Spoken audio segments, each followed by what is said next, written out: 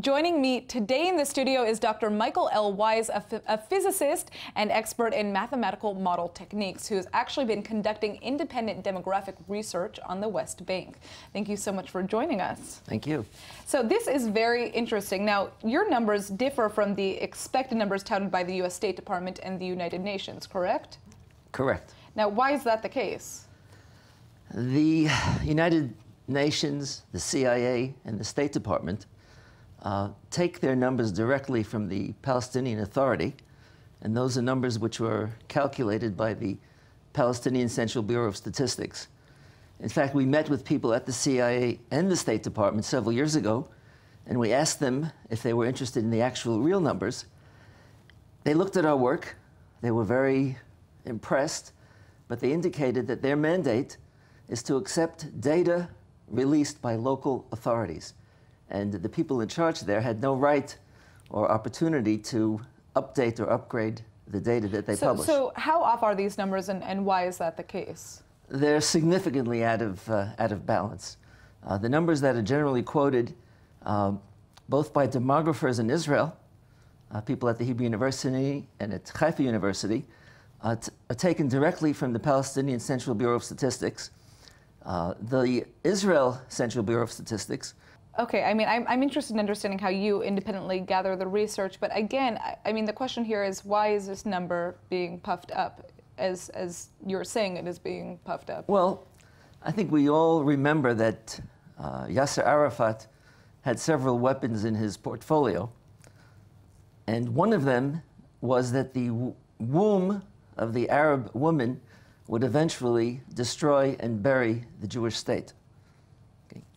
In order to justify those claims, uh, the Palestinian Central Bureau of Statistics started putting forth data which was totally uh, fantastic. It was imaginative. Now, so, how have you independently gathered research? Okay.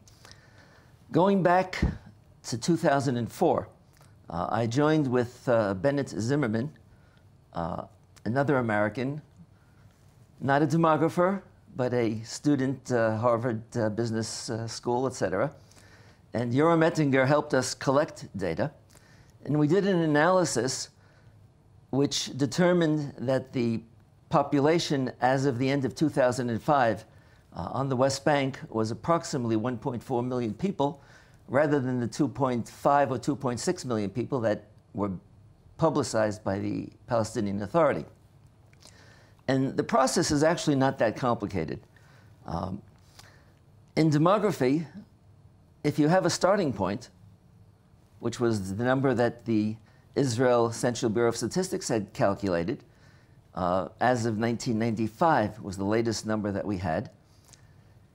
You then count the number of births, subtract the number of deaths, count the number of people who enter the country, and subtract the number of people who were left. And each year you can determine what the actual real population was. Interesting. And we did that each year from uh, 1997, 98, 99, and we do that on an ongoing basis.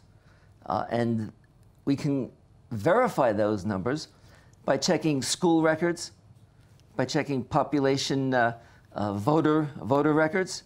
Uh, we get information with respect to entry and exit from the Israel um, border authorities, and you come up with a number.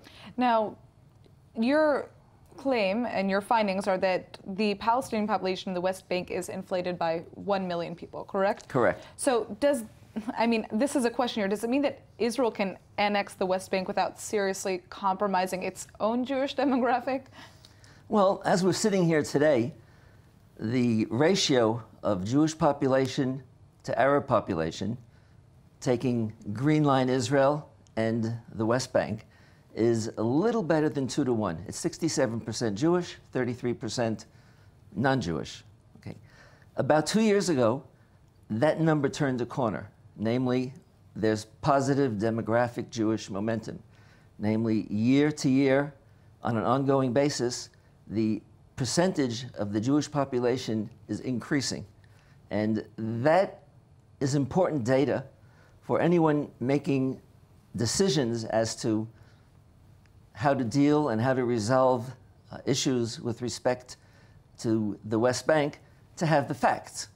It's, it's kind of remarkable that there are people walking around today, uh, and I got calls from people who were sitting in AIPAC a few weeks ago, and they said, Mike, what's going on? Uh, there's someone from the, uh, Bougie Herzog, who was making a speech at AIPAC in Washington, proclaiming that as of today, there's a majority of Arabs versus Jews in Yehuda Shomron, the West Bank, and Israel. Therefore, one must conduct policy in a certain way. Right. Well, I'm, it seems, you know, as though the work that you're doing is going to be very eye opening to the world. The question is uh, whether people are going to take these numbers as the truth, right? Well, thank you so much for joining us. Thank you.